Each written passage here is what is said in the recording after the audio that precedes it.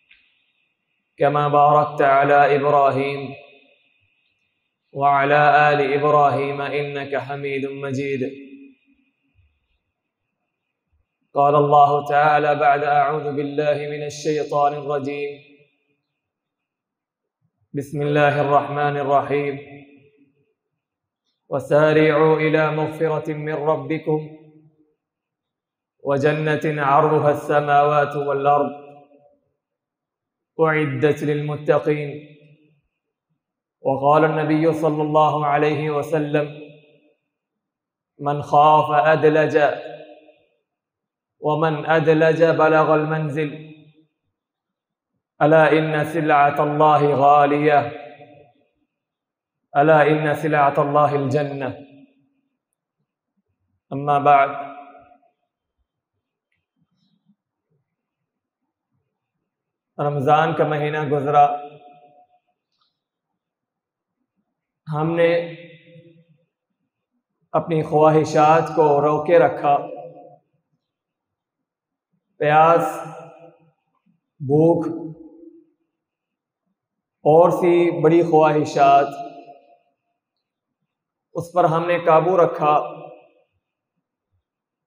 सिर्फ़ इस वजह से कि अल्लाह रब्बुल इज़्ज़त राज़ी हो जाए।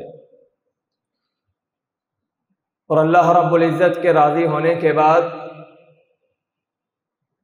अल्लाह रब्बुल इज़्ज़त के राज़ी होने के साथ जो चीज़ हमें मतलूब है, वो हमारा हकीकी घर है। ये दुनिया में घर है इनका जवाल एक न एक दिन आना है। और हमने आखिरकार अपने हकीकी घर की तरफ़ लौटना ही लौटना है। ये दुनिया हमारा इम्तिहान है इख्तिबार है। अगर हम इस इम्तिहान में पास हो जाते हैं, इस इख्तिबार में पास हो जाते हैं तो हमारा हकीकी घर हमें मिल सकता है। आज के खुतबे में उसी घर के बारे में, उसी घर की कुछ सिफात बयान करेंगे। इजमाली तौर पे उस घर का नक्शा नबी आलही सलाम की इस हदीस से लगाया जा सकता है। जो हदीस सही मुस्लिम में हज़रत अबू हुरैरा रज़ी अल्लाह तु से मरवी है, कि नबी सलाम फरमाते हैं, लम्मा खलक़ जन्नत वन्नार अल्लाह रब्बुल इज़्ज़त ने जब जन्नत और जहन्नम को पैदा किया तो जबरील सलात वसलाम को निदा लगाई और उनको बुलाया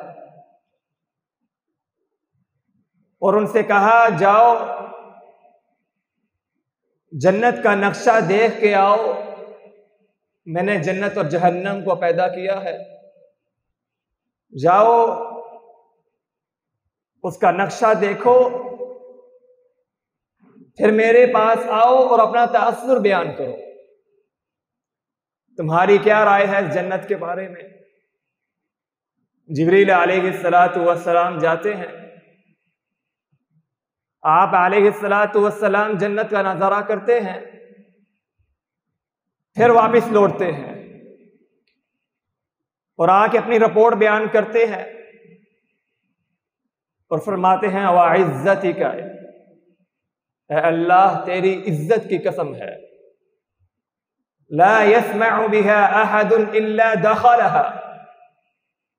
कोई भी इंसान जो इस जन्नत के बारे में सुन ले, वो ज़रूर कोशिश करेगा किसी तरह इस जन्नत में दाखिल हो जाए। ये जन्नत का नक्शा बयान किया। अल्लाह रब्बुल इज़्ज़त ने फिर जबरील सलाम को भेजा और कहा, ठीक है, जन्नत तो देख ली, अब जन्नत का बॉर्डर देख के आओ। जन्नत की इर्द गिर्द जो ज़मीन है, वो देख के आओ। जिस तरह एक खेत का किसी मोहल्ले का या किसी कसर का बॉर्डर होता है, किसी मुल्क का बॉर्डर होता है, कि इस चीज़ में दाखिल होने से पहले पहले बॉर्डर से क्रॉस करें। जन्नत का भी एक बॉर्डर है। कहा, जाओ इस बॉर्डर का देख के आओ, फिर अपना तासुर बयान करो। जबरील सलाम फिर जाते हैं। फिर वापस आते हैं और अपनी रिपोर्ट बयान करते हैं। और फिर कहते हैं, वह इज़्ज़त ही कर अल्लाह, तेरी इज़्ज़त की कसम है। खशी तो अल्लाह मुझे डर लगने लग गया कि इसमें कोई भी दाखिल नहीं हो सकता। यानी जन्नत में मुझे डर लग गया कि जन्नत में इस बॉर्डर को क्रॉस करके कोई भी दाखिल नहीं हो सकता। एक और हदीस में इसकी तफसील बयान है कि हुफतिल जन्नत बिल बकैर कि हमने जन्नत को तकलीफों और आजमाइशों से ढाप दिया है। तकलीफें ही तकलीफें, आजमाइशें ही आजमाइश। वहूजिबत नार बिशहावात फिर अल्लाह रब्बुल ने जबरील सलाम को भेजा, कहा, जाओ, जहन्नम का भी नज़ारा करके आओ। आप सलाम जहन्नत का, जहन्नम का नज़ारा करते हैं और आके रिपोर्ट देते हैं, अल्लाह तेरी इज़्ज़त की कसम है कि कोई भी इंसान इसमें दाखला किसी की भी चाहत नहीं होगी कि वो जहन्नम में दाखिल हो जाए। कहा, ठीक है, जहन्नम का बॉर्डर देख के आओ। जहन्नम का बॉर्डर देखा, कहा, अल्लाह तेरी इज़्ज़त की कसम है, बड़ा ही खूबसूरत रास्ता है। बड़ा ही मुजैन रास्ता है। बड़ा ही शहावात वाला रास्ता है। जन्नत, उसका रास्ता बड़ा ही तकलीफों से भरा हुआ है। मुशक्क़तों से ढांपा हुआ है और जहन्नम का रास्ता बड़ा ही मुजैन सीधा सीधा रास्ता है। यह जन्नत का इजमाली तस्करा है। इस हदीस से हमें यह मालूम हुआ कि अल्लाह रबुल्ज़त ने जहन्नम और जन्नत को पैदा कर दिया है। और यह अकीदा अहल सुन्ना वल जमा का अकीदा है। मुतजिला के यहाँ वो ये कहते हैं कि जहन्नम और जन्नत पैदा नहीं हुई, ये आबस है कि अल्लाह रब्बुल इज़्ज़त पहले से जहन्नम और जन्नत को पैदा कर दे, ये आबस है, नहीं, आबस नहीं है। अगर इंसान को यह कह दिया जाए कि मैंने आपके लिए ये इनाम तैयार करना है तो उसमें वो लगन नहीं होगी जब आप उसको ये कहते हैं कि मैंने आपके लिए ये इनाम तैयार कर दिया है। यह अल्लाह रब्बुल इज़्ज़त की हिकमत है कि जन्नत और जहन्नम पैदा कर दी गई है। इंसान के अंदर शौक पैदा होता है कि जन्नत तैयार है, मैं आमाल करूँ आमाल सालिहा करूँ और इस जन्नत को हासिल कर लो। जहन्नम का भी यही तरीका है। इंसान डर जाता है कि जहन्नम तैयार है और हर रोज वो निदा दे रही है, हल में मजीद, हल में मजीद। कि अल्लाह रब्बुल इज़्ज़त और मेरे में डाल। इंसान डर जाता है। ये जन्नत और जहन्नम को पैदा करने की हिकमत है और यही अकीदा हमारा है। कि अल्लाह रब्बुल इज़्ज़त ने जहन्नम और जन्नत को अभी से पैदा कर दिया है। और इसकी दलील ये भी हदीस है कि नबी सलाम ने अपने ख्वाब में देखा, रुमैसा नामी औरत को, जो हज़रत अनस रज़ी अल्लाह तहो की उनकी माँ है और हज़रत तलहा की बीवी है। अब औरतों को चाहिए कि वो हज़रत रुमैसा की इस ज़िंदगी को देखें कि किस वजह से अल्लाह रब्बुल इज़्ज़त ने नबी सलाम को दुनिया की ज़िंदगी में ही उनका ठिकाना दिखा दिया। हमें ये किस्से, ये हादीस बतलाई जाती हैं, इसलिए ताकि हम अमाल करें, इन लोगों जैसा मनहज इख्तियार करें, इनका किरदार इख्तियार करें। इसी तरह अबू दहदा के बारे में आता है। नबी सलात सलाम फरमाते हैं कि मैंने जन्नत में कुछ बागीचे देखे,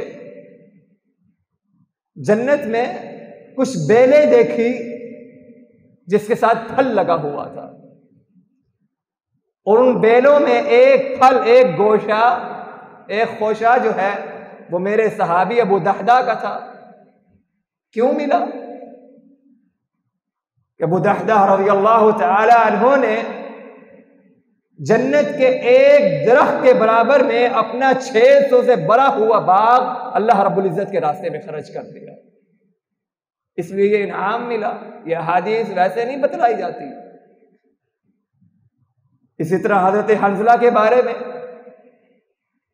गसील मलाइका, जिनको मलाइका ने, फरिश्तों ने गुसल दिया, क्या वजह थी? क्यों यह मकाम मिला उनको? पहली रात शादी की। और नबी सलाम का जिहाद के लिए हुक्म आ गया। चलो जिहाद के लिए चलो। और हज़रत हंजला की पहली रात है। गुसल की हाजत है। लेकिन जब आका सलाम की आवाज़ कानों पे पड़ी तो जिहाद के लिए निकल गए। गुसल नहीं किया। और जिहाद के मैदान में शहीद हो गए। अल्लाह रब्बुल इज़्ज़त ने यह मंजर आप सलाम को दिखाया कि फरिश्ते हज़रत हंजला को गुसल दे रहे हैं। ये इनामात किस वजह से दिए गए हैं? हज़रत उमर रज़ी अल्लाह तु के बारे में सुन ले। आप सलाम महराज के मौके पे जाते हैं, एक खूबसूरत कसर देखते हैं, खूबसूरत महल। आप सलाम की तमन्ना है कि ये मेरा हो। जबरील सलाम से पूछा कि ये महल किसका है? कहा, एक कुरैशी नामी शख्स का है। कहने लगे, मैं भी कुरैशी हूँ। कहा, नहीं, ये हज़रत उमर रज़ी अल्लाह तु का महल है। आप सलाम ने उस महल में जाने की थोड़ी तमन्ना की, चाहत थी उनकी। नबी सलाम को महल में ले गए। आप सलात सलाम ने एक हूर को वज़ू करते हुए देखा। और हज़रत उमर की गैरत याद आ गई। वहाँ सही महल से वापस आ गए। और ये किस्सा हज़रत उमर को सुना रहे थे। और कहने लगे ए उमर, मुझे तेरी गैरत याद आ गई, इसलिए मैं महल से निकल गया। उमर रज़ी अल्लाह तु कहने लगे अगार का या रसूल अल्लाह अल्लाह के नबी, क्या आप पे भी मैं गैरत खाऊँगा? ये इनामात ये बड़े बड़े इनामात किस वजह से दिए गए हैं? हज़रत बिलाल रज़ी अल्लाह के बारे में नबी सलाम ने फरमाया था, इन्नी समय तो दफन का फिर जन्न ए बिलाल, मैंने तेरे चलने की आहट जन्नत में सुनी है तो अमाल क्या करता है? अमाल क्या करने थे बिलाल ने? बिलाल रज़ी अल्लाह तहों को शोलों के ऊपर, अंगारों के ऊपर लिटा दिया जाता ज़ुबान से सिर्फ़ तोहीद है। अल्लाह अल्लाह, अहद अहद, कुछ नहीं। ये में तो मिलने थे। हज़रत बिलाल से पूछा गया क्या बिलाल, तुझे ये जालिम छोड़ते कब थे? तुझे निजात कब मिलती थी इन अंगारों से, इन गर्म अंगारों से? कहा, लोगों जब मेरे जिस्म से खून और चर्बी से निकला हुआ पीप इन अंगारों को बुझा न देती, उस वक्त तक ये जालिम मुझे अंगारों पे ही रखते। इस सहूबतें झीलने के बाद तो ये इनामात मिले हैं। नबी सलाम के आगे प्रोटोकॉल दे रहे हैं जन्नत में। इमाम इबन कैम रहीमहुल्लाह ने बड़ी ही प्यारी तफसीर बयान की है। कि हज़रत बिलाल नबी सलाम से आगे चल रहे हैं, इसका मतलब ये नहीं कि हज़रत बिलाल नबी सलाम से अफजल है, नहीं।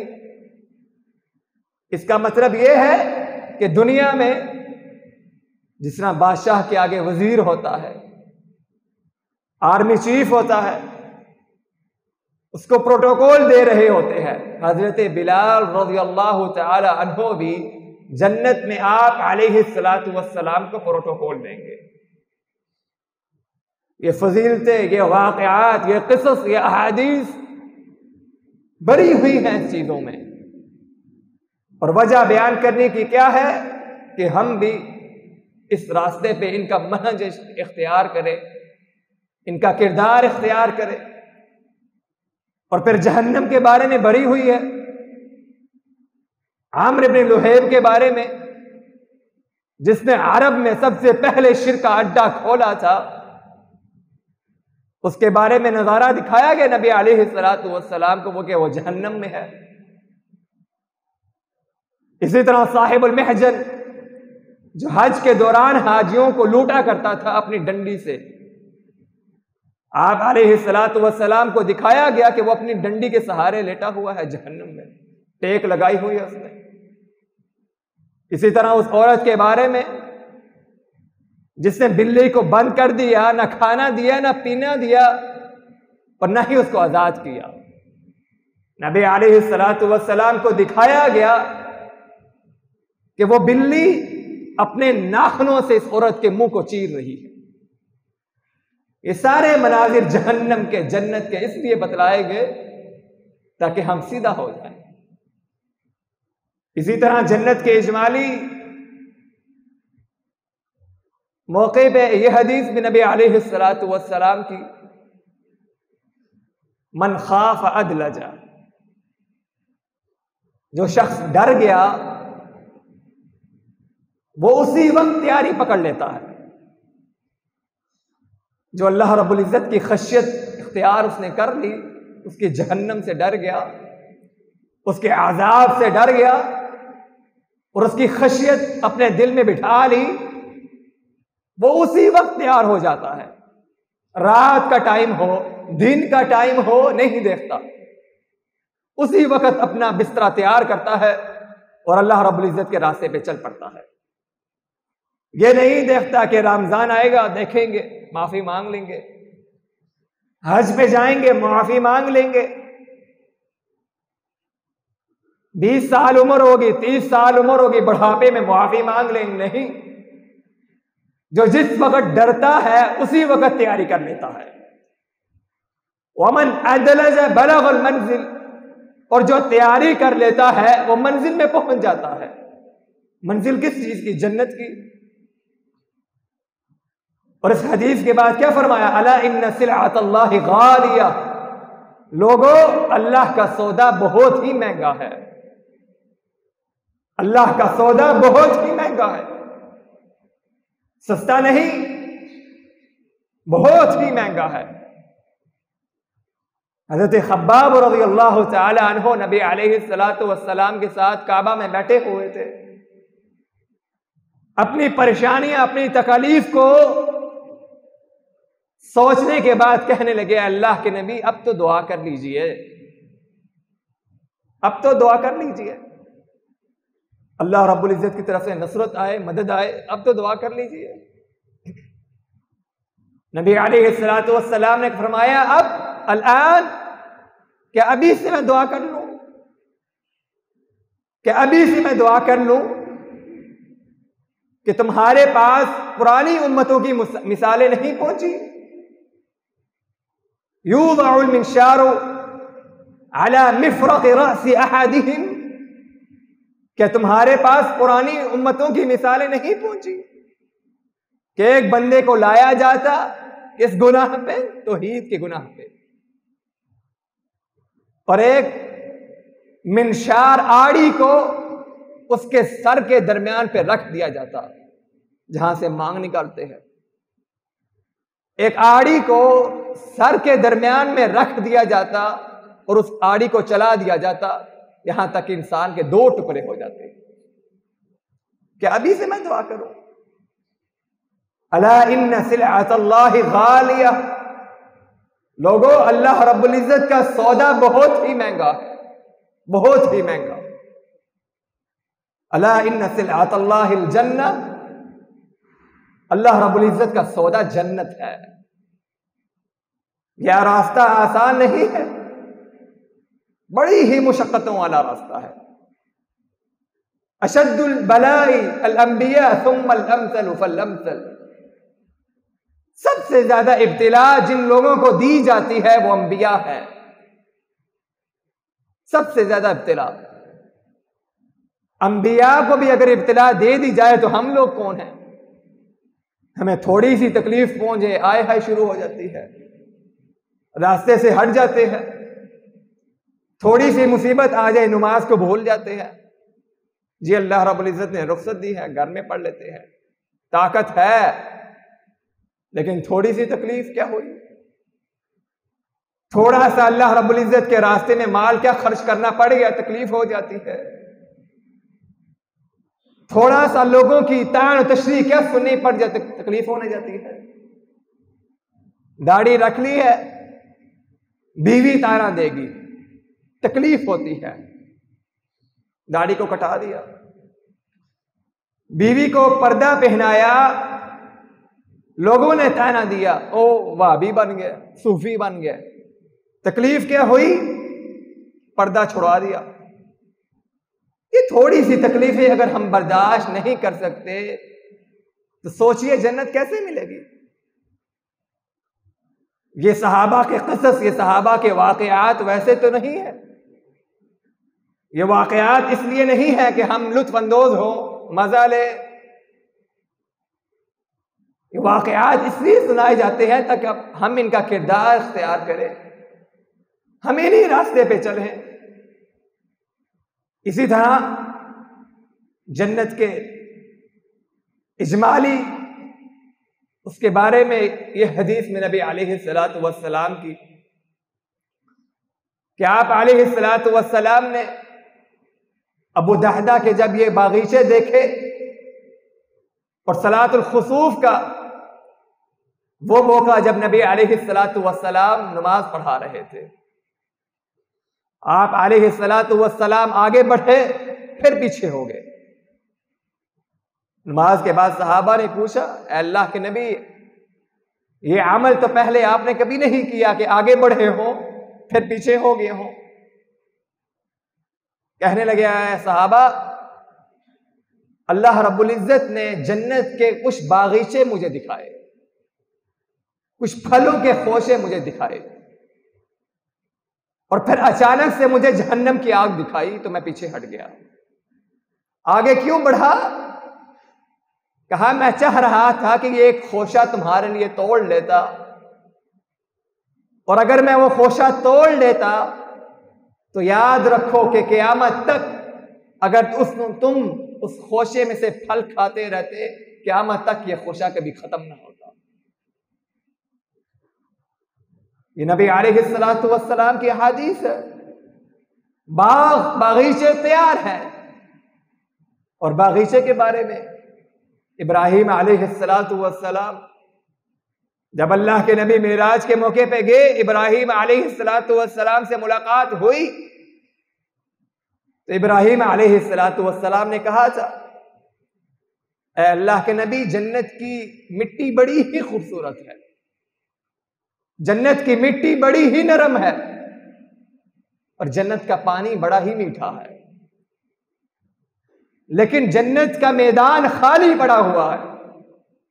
बाग आपकी उम्मतियों ने लगाना है। किस तरह? सुबहान अल्लाह वल्हम्दुलिल्लाह। वला अकबर। सुबहान अल्लाह एक पौधा लग गया। अल्हम्दुलिल्लाह, दूसरा पौधा लग गया। वला इलाहा इल्लल्लाह, तीसरा पौधा लग गया। वल्लाहु अकबर, चार पौधे लग गए। मैदान खाली है बागीचा और बाग आप लोगों ने बनाना है। और फिर उस शख्स का किस्सा जो सबसे आखिर में जन्नत में दाखिल होगा यह भी जन्नत के इजमाली बयान में आ जाता है। नबी सलाम ने फरमाया कि जहन्नम से उस आखिरी शख्स को जो जन्नत में आखिरी शख्स दाखिल होगा, उसको जहन्नम से निकाला जाएगा। और यह शख्स बड़ा ही खुश होगा। और वो समझेगा कि मैं दुनिया का सबसे खुश नसीब बंदा हूँ, जिसको जहन्नम से निकाल दिया गया है। जहन्नम से निकाला जाएगा। हदीस पे आता है कि अपने घुटनों के पल वो खड़ा होगा। इतनी ताकत नहीं। घुटनों के पल खड़ा होगा। और उसके सामने का मंजर जहन्नम की आग है। और पीछे जन्नत है। अल्लाह रब्बुल इज़्ज़त से दुआ करेगा, ए अल्लाह वजह अन्नार मेरे चेहरे को जहन्नम की आग से फेर दे। यानी क्यामत का मंजर इतना होलनाक होगा कि इंसान अपने चेहरे को भी फेर नहीं सकता। अल्लाह रब्बुल इज़्ज़त से इजाज़त ले रहा है, अल्लाह मेरे चेहरे को जहन्नम की आग से मोड़ दे। इसके बाद मैं तेरे से कोई सवाल नहीं करूँगा। अल्लाह रब्बुल इज़्ज़त उसके चेहरे को जहन्नम की आग से फेर देगा। अब उसका चेहरा जन्नत की सर, जन्नत की तरफ़ है। जन्नत के बागीचे देख रहा है। जन्नत की खूबसूरतियाँ देख रहा है। उसके महल्ला देख रहा है। अब आदम का बेटा है, लालची है।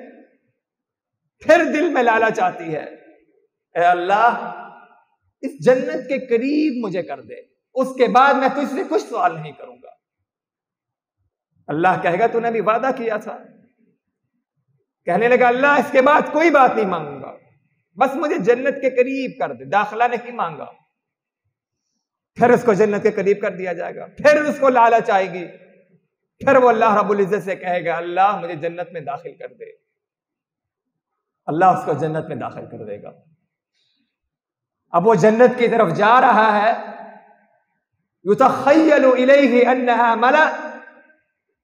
उसके सोच में आएगा कि अब तो जन्नत भर चुकी है, मैं कहाँ जाऊँगा? अल्लाह से कहे कहेगा अल्लाह, इन्नहा मला। अल्लाह, जन्नत तो भर चुकी है।